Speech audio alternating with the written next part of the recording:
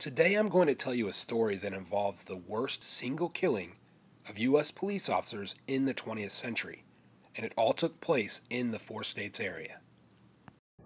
Today's story takes place in the early 1930s during the Great Depression.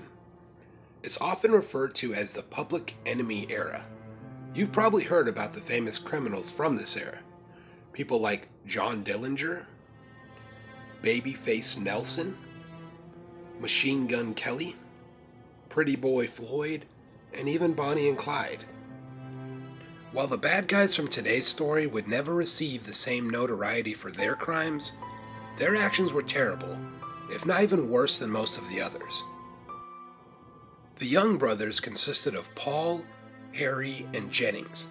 They were well known to law enforcement officers of southwest Missouri in the 1920s as mainly small time thieves. Each had served time in the Missouri State Penitentiary for burglary and theft. Jennings and Paul had also served time at Leavenworth. They had become household names, but most local authorities considered them to be nonviolent until roughly June 2nd of 1929. It's when Harry Young and an accomplice murdered Mark Noe, city marshal of Republic, Missouri. Following the murder, the brothers would flee to Texas for roughly two and a half years. They would establish a grand scale auto theft ring, later described by the FBI as one of the largest of its kind. By the end of 1931, Harry and Jennings decided it was time to visit their family farm back in Missouri.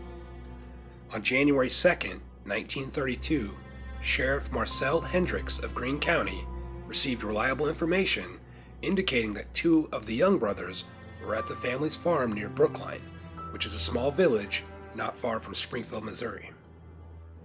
Hendrix quickly assembled a posse of lawmen and set out for the farm to go after and arrest the two young brothers. There were roughly 10 officers in the posse. All of them had handguns, no other weapons, and no spare ammunition. The officers would arrive at the farmhouse and order the brothers to come out. They would receive no response. They threw tear gas into the house. They would receive no response. At that point, Hendrix and his deputy sheriff decided to kick down the back door and enter the home.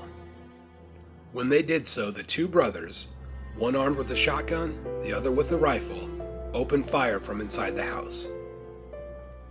Both Sheriff Hendrix and Deputy Mashburn fell mortally wounded. The officers outside began shooting into the windows of the house while the brothers continued to pour deadly fire on the exposed policemen. Three more officers would be murdered from this gunfire Tony Oliver, Sid Meadows, and Charles Hauser. At this point, the surviving police officers were out of ammunition and they were pinned down.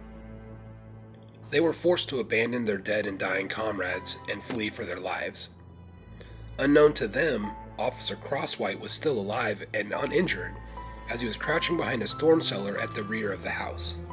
Once the brothers realized Crosswhite was still around, one of them pinned him down with a rifle, while the other crept up from behind him and killed him with a shotgun blast to the back of the head. The killers took money and weapons from the fallen policemen and fled to Houston, Texas. After the murder of six officers, a national manhunt immediately commenced and the Young brothers were quickly tracked to a rented room where they had fled to Houston, Texas. Houston police officers entered the home on January 5th and discovered the brothers had already retreated to an interior bathroom. They called on the men to surrender, but were met with gunfire. At that point, the officers returned fire. There was a period of silence, and then several more shots were heard. A voice called out, We're dead, come on in they would find Jennings Young dead and Harry Young mortally wounded from multiple gunshot wounds. The guns taken from the murdered lawmen in Brookline were the same ones found on the bodies of the Young brothers. The coroner's office in Houston concluded that the brothers had shot each other in a suicide pact to avoid capture. There has been questioning of this version of events, though, with many suspecting that the officers involved had in fact fired the fatal shots. The Young Brothers Massacre was one of the events that persuaded law enforcement in the United States to take a more professional and cautious approach to armed standoff situations in the future. A monument bearing the names of the six slain officers stands today in front of the police headquarters building in Springfield and in front of the Greene County Courts building. The murderers, Jennings and Harry Young, are buried in the same plot with the same grave marker at the Fairview Cemetery in Joplin, Missouri.